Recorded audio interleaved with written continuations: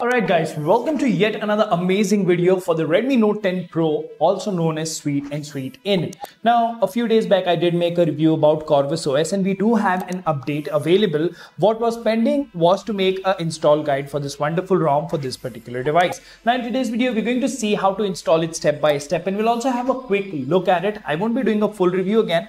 I might though do a gaming review to see how exactly this ROM, which is rumored to be a gaming ROM, performs on the Redmi Note 10 Pro, which is powered by a Snapdragon 732. So before we get into the details, if you haven't already, please subscribe because it doesn't cost you anything and it really motivates us to make amazing content like this.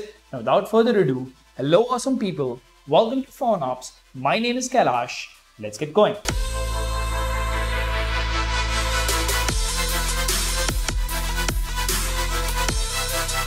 So first things first, the details are as follows. Corvus OS official OSS ROM S Suite S stands for Android version 12. This is version 3.2 Vindicate official Android 12L updated on the 6th of July 2022. Now you do have the source changelog and the device changelog and if you look at the device changelog, you will notice it just says minor fixes and improvement which is not really surprising because uh, the previous version itself was pretty good, right? And this is a relatively small ROM as far as you know custom ROMs are concerned. The version that we're going to be using is going to be with GApps. Now there are a bunch of things that you need to make sure before you flash your custom ROM anytime, first, second, third time. Of course, you need to have an unlocked bootloader. You need to have a custom recovery like TWRP installed. Now that Android 12 recoveries support device encryption decryption. So you should not really have a problem. Now apart from having an unlocked bootloader and twrp installed please make sure that you have more than 50% battery on your device. Remove your Google account and MI account, remove the face unlock, fingerprint unlock, pin pattern, everything and reboot your device once. Now, once you've taken care of everything, there are just two files that we're going to look at, right? The first one is the firmware. I'm going to use the Indian firmware because I have an Indian device and we are using the Corvus OS ROM, which comes with GApps built in. Now, as you can see, the size of the ROM is 1.68 gigabytes. Now, once you've taken care of everything, you need to press and hold volume up and power if you want to boot to TWRP in a normal MIUI ROM. This is MIUI SR, so I'm just going to use an advanced power menu. And as you can see, it is now booting into TWRP recovery. Now I've copied both the files to the phone's internal storage. If you wish, you can use a SD card, you can use a OTG pen drive, that is completely your choice. As you can see, we are booting into TWRP here. Okay, we're going to decrypt our data so that we can do the flashing. Okay, now over here, let's go to wipe, advanced wipe, Dalvik data cache. We're not going to wipe internal storage because that's where our files are. Okay, now go to install select the firmware, add more zips, select the Corvus OS ROM, swipe to confirm flash.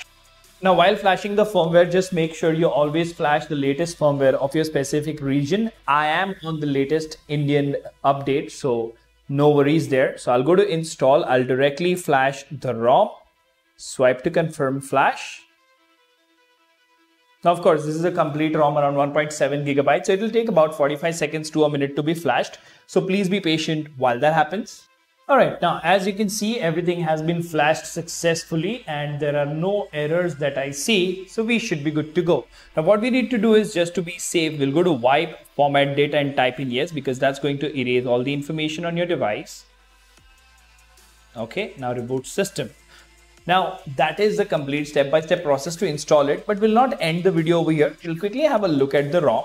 This MIUI SR splash screen will only be gone once I flash a fast boot stock ROM. So ignore that. And as you can see, you do have the beautiful Corvus animated illuminated logo over here. Very, very interesting.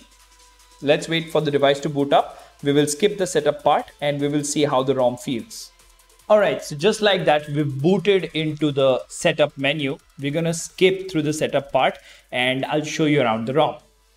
All right, so just like that, we are on the home screen and as you can see, Monet everywhere. That is what I love about custom ROMs. And look at the amount of apps that are there. You just have Play Store, the absolutely important files that you need, apps that you need. Like you do have Google Camera Go, although you can install ANX on this, that is a good thing you do have the dialer that is the google dialer messaging application and let's quickly actually go to um, display and let's see if it has 120 hertz or not So you have tap to sleep. Okay, okay, okay, adaptive brightness. So probably we'll have to use a quick tile over here, right? So let's go ahead and look for the refresh rate quick tile because I think this is running at 60 hertz. Let's see, do we have it? So I can't really find the refresh rate quick tile as well, which is a little weird. Let's see, let's see here. No. Do we have it anywhere here? Refresh rate? No. Okay. So let's quickly actually go to settings and uh, yeah, look for refresh rate. Show refresh rate is an option over here. Okay, we're already running at 120, so that's fine. So first of all, very, very few applications included in this particular ROM. If you actually go to settings, you go to about phone, you press on Android version 12, you will see it comes with the June security patch and the Phantom kernel, the latest version. The SE Linux status is of course enforcing, which is a good thing. And if you give it some time to settle down, you will feel that you know the ROM has started smoothing out and uh, even the Google feed, although this device is a 732G powered device, it works really, really well. Even if we talk about say the wallpapers over here, so let's go to change wallpaper. You have raven walls a lot of different raven wallpapers. Let's choose this one and select to apply the wallpaper. And you will notice that you know all the elements of the user interface have changed. If you go to wallpaper and style enable themed icons this will look even better so yeah i mean corvus os is something that gives you a ton of customization as you can see over here i've covered that in one of my videos and this is a quick step-by-step -step guide of how to go about installing it and how you can enjoy the amazing experience of Corvus OS on your Redmi Note 10 Pro. Let me know in the comment section if you want me to do a gaming review on this particular OS or not. Until the next one, this is Kailash signing off at PhoneOps. Keep smiling. Take care. Goodbye.